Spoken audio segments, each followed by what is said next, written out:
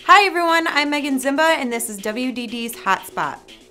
Hewlett Packard has re-entered the tablet market with its wallet-friendly Slate 7 device, which features a 13-ounce frame housing a 7-inch 1024 by 600 display.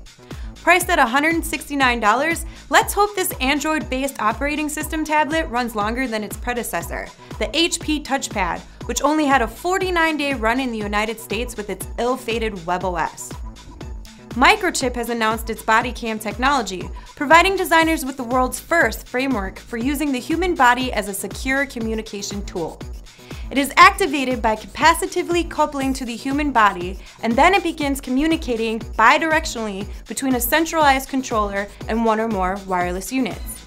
Thalmic Labs has introduced its wearable gesture control armband, Myo which is capable of measuring electrical activity and muscle movements instantly, providing a seamless way to wirelessly control video games, phones, and other digital devices. Featuring Bluetooth 4.0, onboard rechargeable batteries, and a processor outfitted with muscle sensors, the system integrates a six-axis inertial measurement unit for fully immersed interactive experiences. InfoMotion Sports Technologies has unveiled its 94Fifty sensor basketball that measures basketball skills in real time.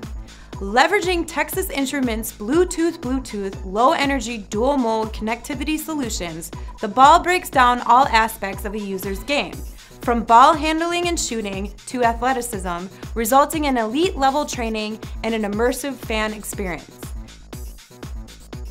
I'm Megan Zimba, and I'll see you next time in the hotspot.